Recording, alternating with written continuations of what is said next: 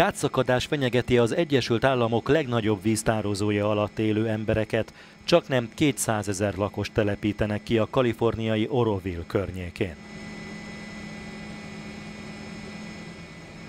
Vasárnap rendelték el a térség kiürítését, miután pár nappal korábban vízszivárgást tapasztaltak egy megrepett tartalék túlfolyónál. Azonnal elkezdték a tározó leengedését, ennek köszönhetően a szivárgás már megállt. Ennek ellenére a veszély még nem múlt el, figyelmeztetnek a szakemberek. Ha a szivárgást nem kezeljük megfelelően, akkor egy majdnem 10 méter magas árhullám szabadulhat el. Nem a teljes tó zúdulna le a völgybe, de egy 10 méteres vízoszlop is pusztító. Ezért kellett elrendelni a kitelepítéseket, magyarázta a kaliforniai tűzoltóság parancsnoka.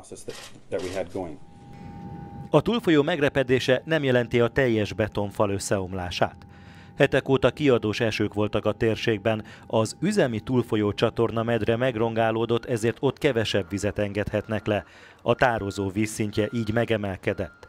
Ezután kezdett szivárogni a tartalék túlfolyó. A szivárgás alatt sziklákból védvonalat építenek.